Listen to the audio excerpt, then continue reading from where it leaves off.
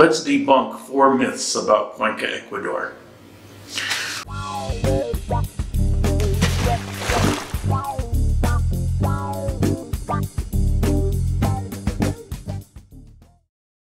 Before I get started, I better do a disclaimer because I get so much hate mail when I say anything that comes across as critical.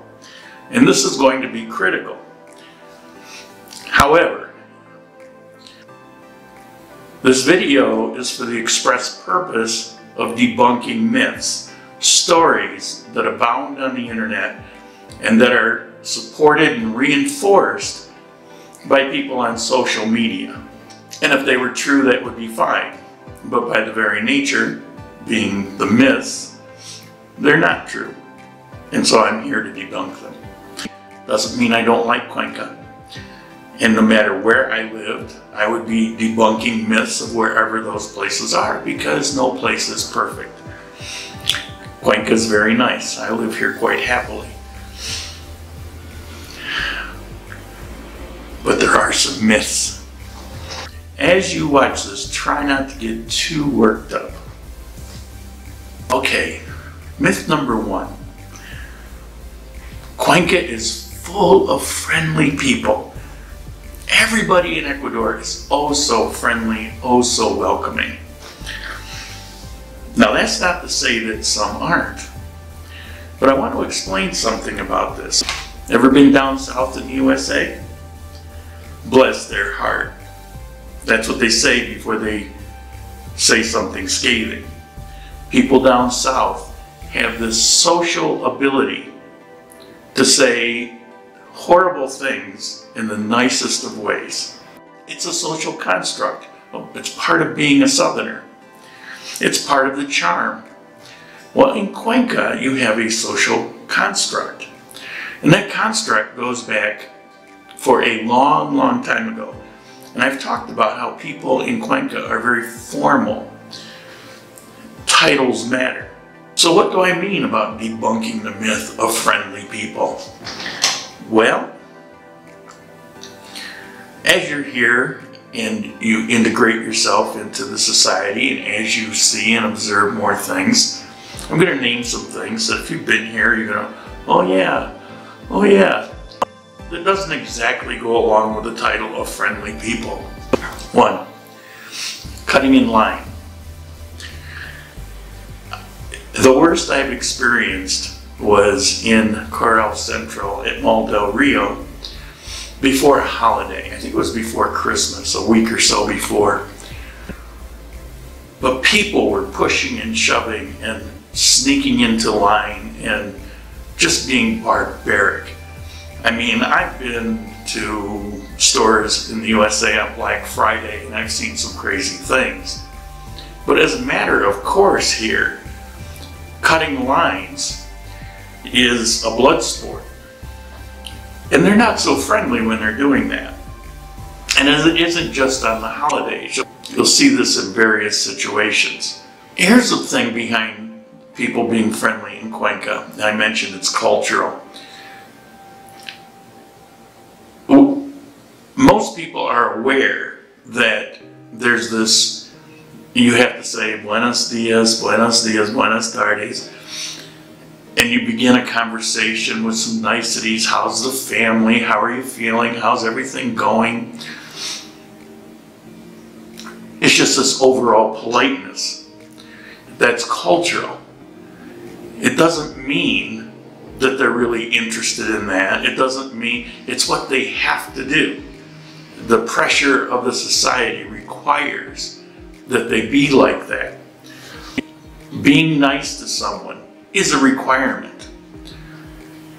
I saw a situation where somebody came up to a friend of mine and this person had actually stolen from them about a year before and not in a minor way. But when this person came up, friend of mine, hello, how are you? How are you doing? All the niceties. Now I'd spit in their eye. I'd punch them in the eye. You know, you might do something you certainly wouldn't be so nice to them. But being a cultural requirement, it's ingrained in their system. Were they being a friendly person to them? They were being culturally appropriate. So many people that you meet that you view as being oh so friendly are just being culturally acceptable. And when you turn your back or go out the door, it doesn't it doesn't mean it's what's in their heart. It doesn't mean it's not. I have some good friends. I believe in them. I trust them. In some cases, I rely on them. But I don't make friends easily or lightly, and they deserve that trust that I place in them. I've met other people that were just fake. They were culturally acceptable, but it wasn't real, and I've got a smell detector for that. I've seen so many situations where, for example, in, Tienda, person is being oh so nice to some gringos that are standing there. When they turn their back and walk away, the person might roll their eyes or say something quietly to, you know, their family member standing there. So just keep in mind, it's not that they're not friendly. It's that being friendly is culturally required. And so you don't really know if they're really being friendly or if they're just doing what they have to do. It takes time to work that out. It takes time to develop a kind of relationship where you know the difference. Gringo pricing. Now, a lot of people talk about it, and there's a couple of video bloggers that are always talking about gringo pricing and how you're going to get screwed and don't let yourself get screwed and you know you're a target they're going to prey on you. And there's a few cases a few situations where that might be true. But i'm here to debunk that myth. In most cases that's absolutely not true. If you go into Supermaxi, the price is the price. It doesn't matter who you are, it doesn't care. When you walk up to that cash register, it's going to go through, and when you give them your Supermaxi card, it's going to apply the same discounts to whoever is standing there. When I go into Corral Central, it's the same way. If I go to look at a washer and a dryer, I'm able to negotiate just like anybody else. And the new dryer I bought, I got one heck of a price. It wasn't gringo priced. It's a business trying to get as much as they can out of it while still making the sale.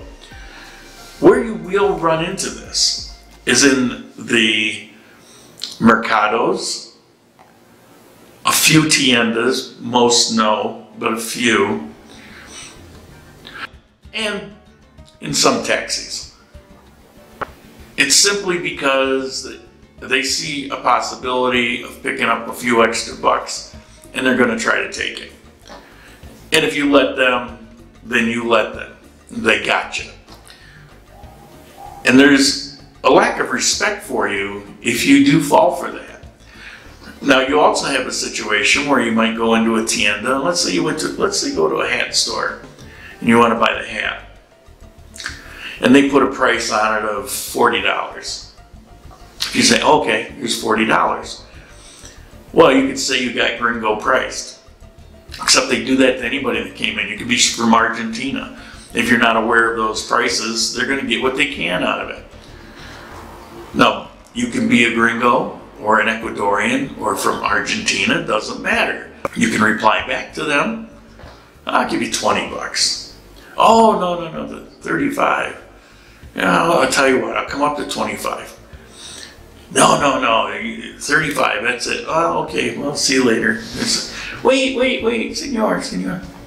Okay, 30, 25, 25. And when time comes, you pay $25 for a $25 hat. Yeah, that exists all over the world. That's not being gringo, that's just negotiating a business price. So, a myth that everything is gringo priced and everybody's out to get you just isn't true. You're going to run into it occasionally. And in particular, in the mercados and taxis, you know, you got some drivers that are heartless, but most are very on the up and up. So I wouldn't worry so much about this gringoed idea. Now we're on the topic of finances and money. I do want to point something out. Flashing money is vulgar here. You notice when you go into a restaurant, you can sit there for three days before they're not going to bring you the bill. You have to ask for it. There's something low class, there's something vulgar, there's something insulting about actually dealing with money. That's why when you see a post trying to sell something, you know, I've got uh, I've got a flat screen TV and they give all the information about it, but there's no price. That's a typical and frustrating thing here. It's because talking about pricing is beneath them. It's insulting. It's vulgar. And here we come, it's like, what's the first thing out of our mouth? How much is that? Well, they they accept it because they've seen enough people do that. They see our movies, so they understand that the rest of the world might be like that, but they're not like that. And that goes back to years ago with the caste system. It, it's still part of that. So keep that in mind when it comes to tipping. Well, many places will now accept or even expect tips simply because it's a common practice with people coming from North America. Even Ecuadorians that have lived there and they come here, they get into that habit doing it. But there was a time, and it still exists now with some people, where giving that tip is condescending and insulting. What do you mean? I'm gainfully employed. What are you trying to say? Are you saying that I'm poor and I need it? So, you know, just keep that in mind because you will run into that. In Colombia, we run into that a lot. In, in itself, you don't run into that too much. In Giron, the little town south of here, that's more old timey, and it's, it's certainly like that. The price is what the price is, and if you're giving more, it's like, what's going on here? What you could, I think you can imagine how that could be insulting. Okay, let's debunk another. Cost of living, one of our favorite topics, right? Here's the thing about the cost of living whether I've said it in the past, other people say it, people that live here, friends that you know, whether you see it on other YouTube videos. It's all really a matter of perspective. It's a matter of your situation in life and your expectation.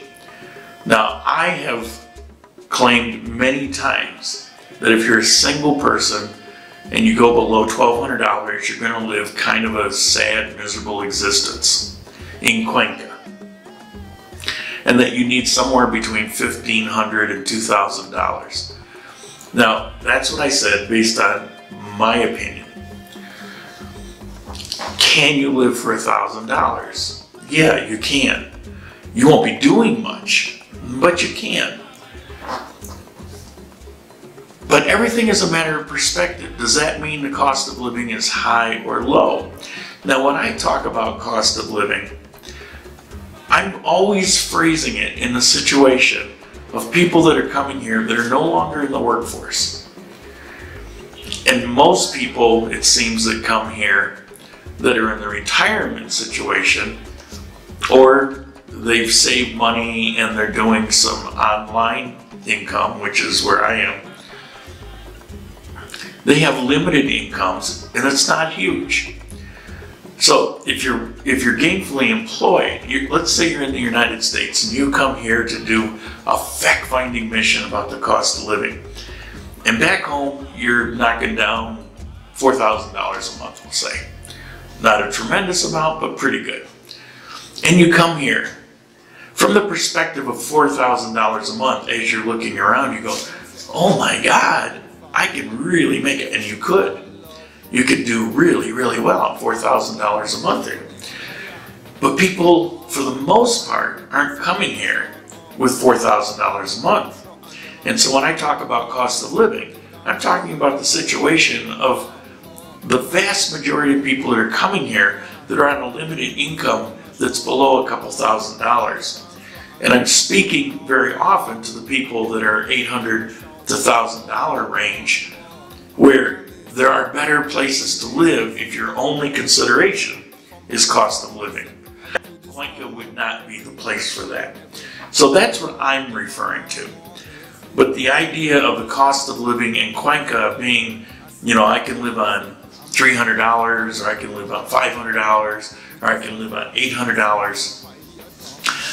A lot of that has to do with what you consider living. If you live in a horrible neighborhood and you want to live in a hovel, you could get a place for a couple hundred dollars a month. Now, I'll do another video on this, but recently a person I talked to went back to the United States. He did a video on cost of living and he said that the utilities barely exist. We didn't really didn't get into much conversation on that, but that's actually not the case. My utilities come to about $150 a month. So you have utility costs. They may not be high, but they exist. When you're on that limited income, it makes a difference. So if you live in a decent area with a decent apartment, you're going to pay minimum 300, 350 to a maximum. Well, there's no limit on the maximum, but we'll say five or six hundred dollars. It, it, can go up to two thousand or more, but let's say that range three, three fifty, five, six hundred dollars. You add to that the utilities, you add to that food, and your food costs are going to run somewhere between probably two and four hundred dollars, depending on how you choose to eat. Then it doesn't leave you a whole lot on that limited income for other things. And to live, you want to go out once in a while, hit up a nice restaurant, which can be very pricey. Uh, some of the restaurants here for two people, you're going to spend over a hundred bucks on the ticket. So, the idea of the cost of living in Cuenca being cheap when it's one of the more expensive places in Ecuador